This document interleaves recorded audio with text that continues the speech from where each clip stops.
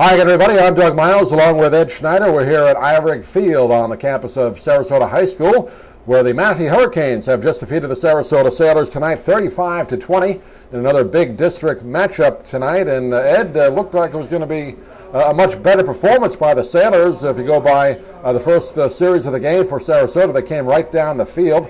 Uh, the quarterback Sean Hurley did a great job of doing a lot of the running himself out of the shotgun. They did not score on that opening drive, but they did capitalize the next series, which Manatee had the ball, got an interception, and Terrell Brown ran it in 30 yards for the touchdown. Sailors went up six to nothing, uh, but after that, the Canes uh, got their game going, and it was pretty much Canes the rest of the way.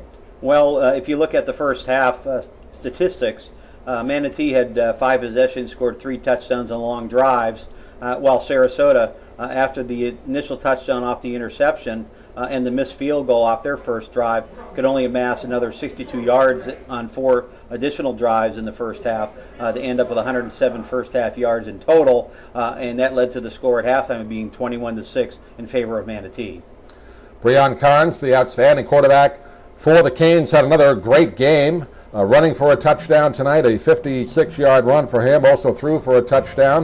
One of the highlights of the game was uh, Mike Blakely starting off the third quarter, a 91-yard touchdown kickoff return down the near sideline, electrifying uh, the Manatee crowd that was here tonight. He also had a touchdown earlier in the game from five yards out. And Ed, when you look at this offense of the Canes, I had a chance to see them last week against Lakewood Ranch.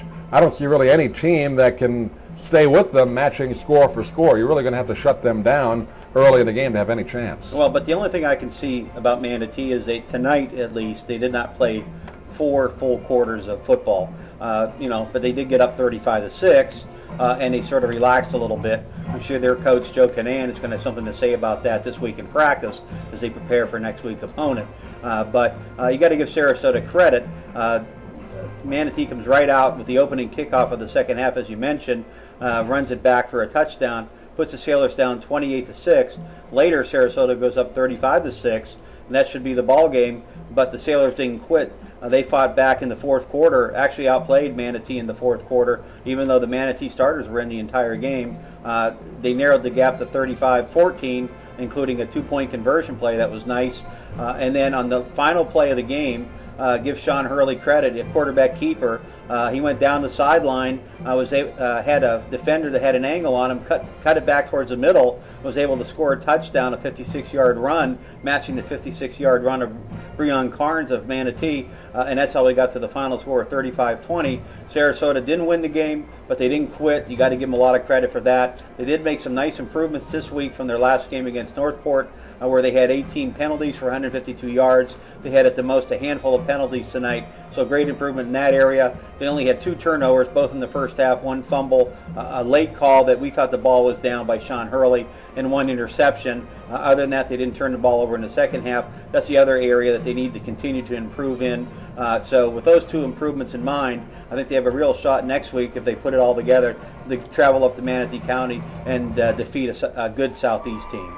It was homecoming here tonight, so some good uh, uh, festivities here with some of the old uh, Sailor players coming back, going back to, I believe, 1947. This rivalry, they've been playing each other for 86 years here in Sarasota and Manatee County. So it's always a great uh, fan uh, time here at, whenever these two teams meet up, either here or at Manatee. So it was a lot of fun tonight. But at least uh, at the end of the game, like you said, Sean Hurley's touchdown run gave the fans something to hang their hat on for next week's game against Southeast. The Sailors right now with a record of one up and four down, one and one in the district. Manatee remains undefeated at 5 and 0, 1 and 0 in district play. Well, you give the Sailors some credit. They played the ninth ranked 5A team in the state. Uh, while they didn't come out a winner on the scoreboard, uh, they've proved that they can play uh, with the top teams in the state, uh, and that should give them some confidence going into next week, and hopefully they'll be able to come away with a victory at Southeast. I'd like to thank you all for tuning in each week as we have our post-game shows uh, here on uh, YouTube, also fandome.com. Thank you for tuning in each week, maxpreps.com as well, and the Sarasota Herald Tribune, a prep football site. I'd like to thank you all for tuning in each week. We're all over the web, Doug. All over the place, and uh, we're getting recognized, Ed.